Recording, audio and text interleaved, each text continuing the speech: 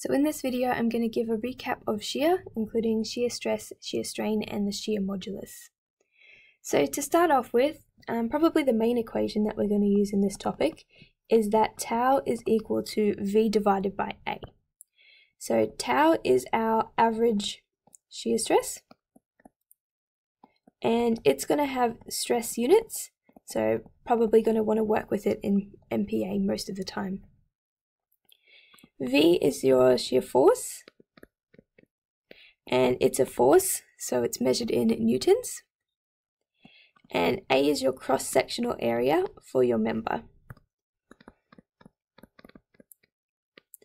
And you're probably going to want to work with that in millimeters squared. Now just remember that if you're working in MPa, millimeters squared and newtons, all of these units kind of work together so that if, for example, you have your um, units in newtons and millimeters squared, you'd end up with MPa for stress without needing to do any further conversions. So let's talk a little bit about how we can get the shear force in a member. So let's pretend we have a member that looks like this and we're going to have a few different forces that are going to try and shear it. Okay, so I guess to be able to recognize shear forces as opposed to axial forces, these ones are going to try and bend your member out of shape. And in this case, it's going to try and make it more V-shaped um, than before. This can be contrasted against axial forces. So for example, if I had this thing being pulled on either end, let's call them, I know, F4 and F5, these forces here represent axial forces, and they're only going to try and extend the member. If we flip them around and put them in compression, they just try and um, make it smaller in the length. They wouldn't actually change the shape. So if we want to find the internal shear force within a member, um, that's completely possible. We need to pick um, a point of interest that we want to find it at.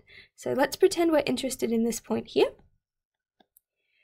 What we do is perform a cut through our material, just like you would do with truss analysis using the method of sections approach and we need to redraw the free body diagram of either the left or the right hand side.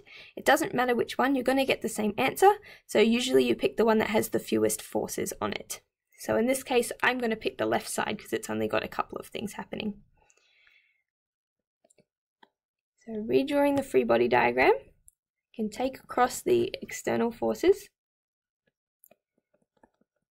And what I need to do is replace at the cut with my um, internal loads. So I'm going to have a normal force, which I'm going to call n, and this is the one that we looked at when we did method of sections. And we're also going to have a shear force, which I'm going to draw downwards. And remember we call it V. So in order to maintain equilibrium, we need to satisfy our equilibrium equations. So summing forces in the x direction, we're going to find that the internal axial load has to be equal to F4 and summing in the y direction, we're going to find that the internal shear load has to be equal to F1. And this would be V, if you had a number for it, what you could go back and put into your equation to calculate shear stress. You just need to know the cross-sectional area um, to be able to find it.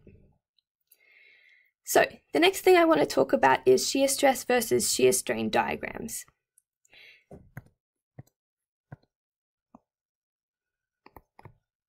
So just like when we did normal stress versus normal strain, stress goes on the y-axis and we're using tau, and strain goes on the x-axis. And this time, because we're looking at shear strain, not the longitudinal strain, this one is going to be um, gamma,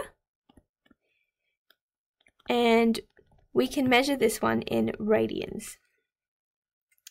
So what we find is if we plot the shear stress versus the shear strain, we end up with a curve that looks quite similar um, to what we would have got if we did normal stress versus normal strain. So we end up with like a linear region, and then we have a plastic region where it's non-linear anymore. So we still have a yield point, which marks the transition from the linear part of the graph to the non-linear part, and we still have a fracture point where our sample that we would be testing breaks at the end. So through this linear part of our graph, we can calculate the gradient of it. So on the y-axis would be the change in the stress. On the x-axis is the change in the strain.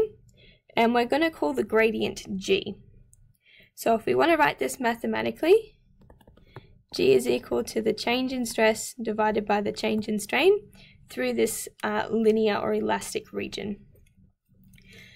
So the other name for, or what G actually is called, is the shear modulus. Alternatively, some people call it the modulus of rigidity as well.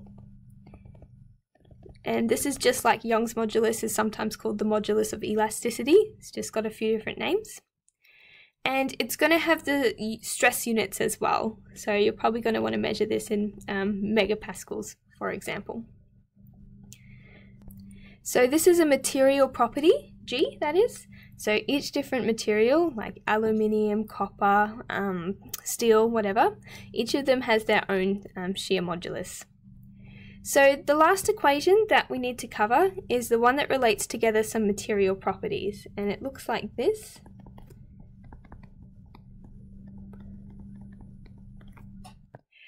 So on the left, G is your shear modulus. On the top line here, E is Young's modulus. And underneath, in the bracket, we end up with Poisson's ratio. So you can use this equation to convert between each of the material properties. Um, and yeah, it's going to be each of these properties, so shear modulus, Young's modulus, and Poisson's ratio, is unique to the material that you're looking at. So I think that's all the equations that we need to cover for this shear topic, and there'll be a few example videos that you can have a look at, which look at the applications of them.